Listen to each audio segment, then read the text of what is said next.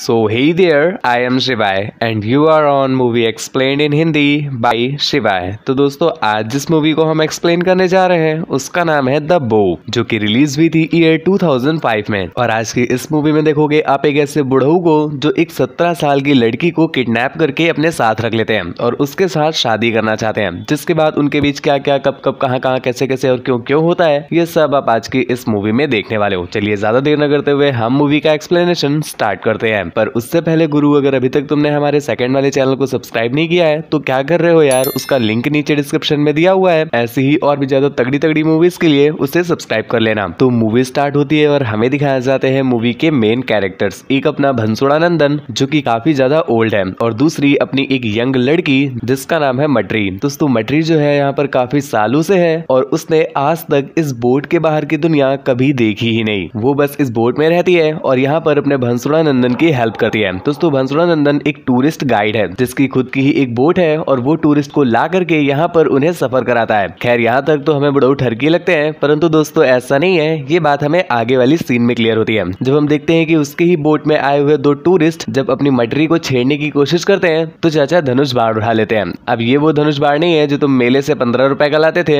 ये सच वाला धनुष बाढ़ ही है, जिस वजह से वो दोनों डर जाते हैं और उसे छोड़ देते हैं। इसके बाद हमें पता चलता है कि अपनी मटरी भंसोड़ा नंदन के साथ पिछले दस सालों से है। और यहाँ पर अभी तक भंसोड़ा नंदन ने एक बार भी उसे टच नहीं किया, बल्कि वो तो वेट कर रहा है उसे टच करने के लिए। एक्चुअली दोस्तों, अपना जो भंसोड़ा नंदन है, उसने डिसाइड किया है कि पहले वो मटरी के साथ शादी करेगा, फिर उसे टच करेगा। और अभी मटरी अठारह की हुई नहीं है, इसलिए उसने मटरी को अभी तक बिल्कुल प्योर रखा है। और वो हो जाएगी अठारह की अगले ही महीने। खैर, यहाँ पर हम इनकी जीवन शैली भी देख पाते हैं कि सुबह सुबह जो टूरिस्ट आते हैं, उनसे भंसुड़ा नंदन उनके बोट पर लाता है और मटरी उसकी हेल्प करती है। उनके जाने के बाद अपना भंसुड़ा नंदन मटरी को खुद ही अपने हाथों से नहलाता है और पता नहीं, शायद बुढ़ापे की वजह से ही चाचा की सटक गई है कि ये उसे रात में नहलाते हैं। अरे भैया, इतनी ठंडी में हमारी तो दोपहर में नहाने में फटी पड़ी है और ये उसको रात में नहलाते हैं। खैर, नहाने वहाने के बाद वो उसे म्यूज़िक भी सुनाते हैं। खैर, ऐसे करते करते ज़िंदगी किसी तरह से कटिच रही थी, परंतु एक दिन हम देखते हैं कि एक बंदा, जिसका नाम थेपला मारतंडे है, वो एक दिन चाचा के साथ आता है उनकी बोट पर सफ़र करने के लिए मतलब घूमने के लिए। और यहीं पर गुरु थेपड़ा मारतंडे की नज़रें टकराती हैं अपनी मटरी के साथ, जिसके बाद दोनों के ही आँखों से इशारे हो गए, ये उनके और वो हमारे हो गए। यहाँ पर दूर खड़े अपने चाचा ने जब ये देखा तो भाई साहब उनके अंडे जल गए, परंतु चाचा कर भी क्या सकते थे? खैर, इसके बाद हम देखते हैं थेपला मारतंडे को, जो की एक छोटे से मीडिया प्लेयर की हेल्प से हेडफोन लगा करके गाने सुन रहा था। और दूर खड़ी अपनी मटरी ने जब ये देखा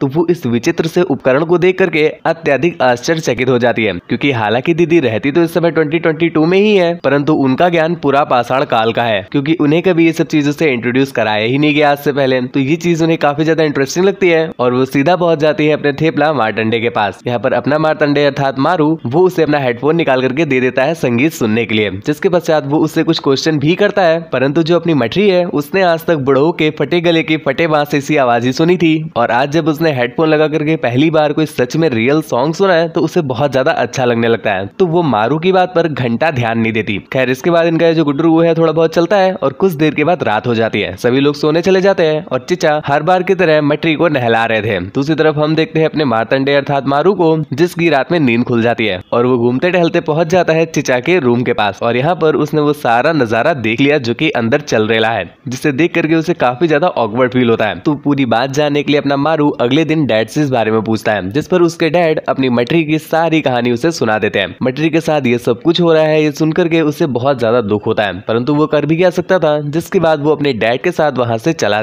जाता है। परंतु जाते जाते वो अपना हेडफोन और वो मीडिया प्लेयर अपनी मटरी को ही दे जाता है। मटरी उसे पा करके बहुत ज़्यादा खुश थी तो वो उससे सॉन्ग को सुनने लगती है और भंसोड़ा नंदन पर ध्यान ही नहीं देती, जिस पर भंसोड़ा नंदन को बहुत गुस्सा आया और वो उसका हेडफोन निकाल करके ज़मीन में पटक देते हैं। और यहाँ पर हम देख पाते हैं कि पहली बार अपनी मटरी उनसे नाराज़ हो जाती है, जिसके बाद रात में जब वो उसे नहला रहे थे तो यहाँ पर भी वो अपना गुस्सा दिखाती है। खैर भंसोड़ा नंदन उसे मनाने के लिए एक नेकलेस भी लेकर आते हैं, परंतु फिर भी वो नहीं मानती और उसके नेकलेस को तोड़ करके फेंक देती है और उसे जलाने के लिए उसके ही द्वारा लाए गए टूरिस्ट के पास जाकर बैठ जाती है, जिससे होता भी वही है जो अपनी मटरी ने सोचा था। भंसुड़ा नंदन भैया जल करके कोयला हो जाते हैं और इसके अगले ही दिन हम देखते हैं अपने थेपड़ा मारतंडे को, अर्थात अपना मारू, जो की वापस चला आया है अपनी मटरी की याद में। और यहाँ पर अपनी मटरी भी आशिक को देख करके बहुत ज़्यादा खुश हो जाती है, जिसके बाद वो दोनों कुछ बातें बातें करते हैं और अपनी मटरी उसे इस बार गिफ्ट के रूप में एक डमरू देती है। अर्थात डमरू दे करके शायद वो ये बताना चाहती थी कि, बाबू, बजा दो। आई मीन डमरू को बजा दो। खैर, यहाँ पर ये लोग जब अपने गप्पे लड़ा रहे थे और भंसोड़ा भंसुड़ानंदन जब उसे इस तरह से गप्पे लड़ाते हुए देखता है तो भाई साहब उसका शकल सड़े हुए करेले जैसी हो जाती है। परंतु वो खास कुछ कहता नहीं। जिसके बाद हम देखते हैं कि जब वो रात में सो रहा था तो उसने नोटिस किया कि मटरी वहाँ पर नहीं है, और उसे ढूंढते ढूंढते वो पहुँचा सीधा अपने मारू के पास। यहाँ पर वो और मारू आपस में गुटरगु कर रहे थे, जिसे अपना भंसुड़ा नंदन देख लेता है, और गुस्से में उसे उठा करके रातों रात ही दूसरे कोने पर छोड़कर आता है। खैर, इश्क में चोट खाया वो अपना आशिक वहाँ से चला तो जाता है, परंतु भैया जी एक बार जूता खा के ये मानते कहा है? दोबारा जूता खाने फिर आएगा तुम देखना। खैर, यहाँ पर हम दूसरी तरफ़ देखते हैं अपने बुढ़ऊ को, जिन्होंने अब ये डिसाइड कर लिया है कि उसके 18 साल होने को मारो गोली, हम उसके साथ पहले ही शादी कर लेंगे, वरना ये तितली कहीं ना कहीं उड़ जाएगी। और धीरे धीरे उसे नजदीकियाँ बढ़ाने के लिए, वो उसका जो बेड है, उससे अपने बेड के साथ मर्ज कर लेते हैं और उसे अपने साथ ही सोने के लिए कहते हैं। यहाँ पर अपनी मठरी को ये बात बिल्कुल भी पसंद नहीं आती और इस बात के लिए वो बुढ़ऊ को थपड़िया भी देती है। परंतु बेसरम आदमी उसे इस बात का घंटा फ़र्क खींच नहीं पड़ता। अगले दिन हम देखते हैं कि अपना जो मारू है, वो एक पोस्टर को लेकर के अपने साथ में आया दोस्तों, उस पोस्टर में अपनी मठरी की दस साल पहले की गुमशुदगी की खबर थी। एक्चुअली दोस्तों जो बढ़ऊ है, ये मठरी को दस सालों पहले कहीं से उठा कर लाए थे और आज तक मठरी को उन्होंने ये बात बताई नहीं है। खैर, जब मठरी को ये पता चलता है तो वो डिसाइड करती है की वो अपने बाबू अर्थात अपने मारू के साथ ही जाएगी। परंतु नंदन उन्हें जाने देता अपना, वो तो हर बार की तरह तीर उठा लेते हैं और होगने लग जाते हैं। लेकिन इस बार नहीं, क्योंकि इस बार लैला भी प्रेम में पड़ चुकी है, जिस वजह से वो तीर के सामने आ जाती है और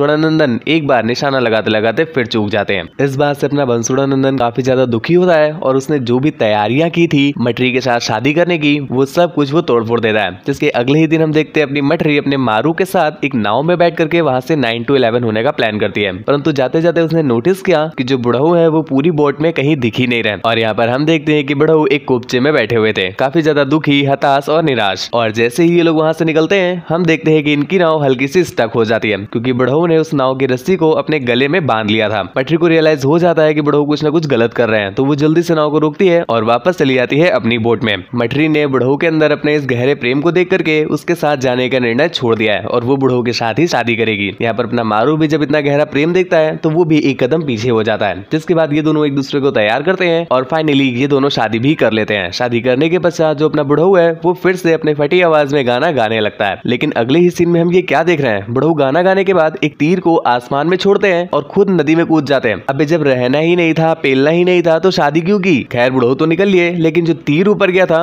वो वापस चला आता है और सीधा गोल पर लगता है। आ, आ, गोल पर नहीं होल पर। खैर कुछ देर के बाद वहाँ पर अपना मारू भी आ जाता है और उसे ऐसी कंडीशन में देख करके गले लगा लेता है जिसके बाद हम देखते हैं वो अपना तीर बाहर निकालती है और फाइनली ये दोनों दो जिसम एक जान हो जाते हैं जिसके साथ ही ये मूवी यहीं पर एंड हो गई। दोस्तों मूवी आपको कैसी लगी हमें नीचे कमेंट करके ज़रूर बताना। ऐसी ही और भी ज़्यादा इंटरेस्टिंग टपटप वाली मूवीज़ को देखने के लिए हमारे सेकंड चैनल को भी सब्सक्राइब कर लीजिए। मुझसे बात वगैरह करना चाहते हैं या फिर मुझे देखना चाहते हैं तो इंस्टाग्राम पर फॉलो करके मैसेज कर लीजिएगा मैं हूँ आपका शिवाय और मूवी को करते हैं एंड आज के लिए बस इतना ही। Thank you bye bye signing off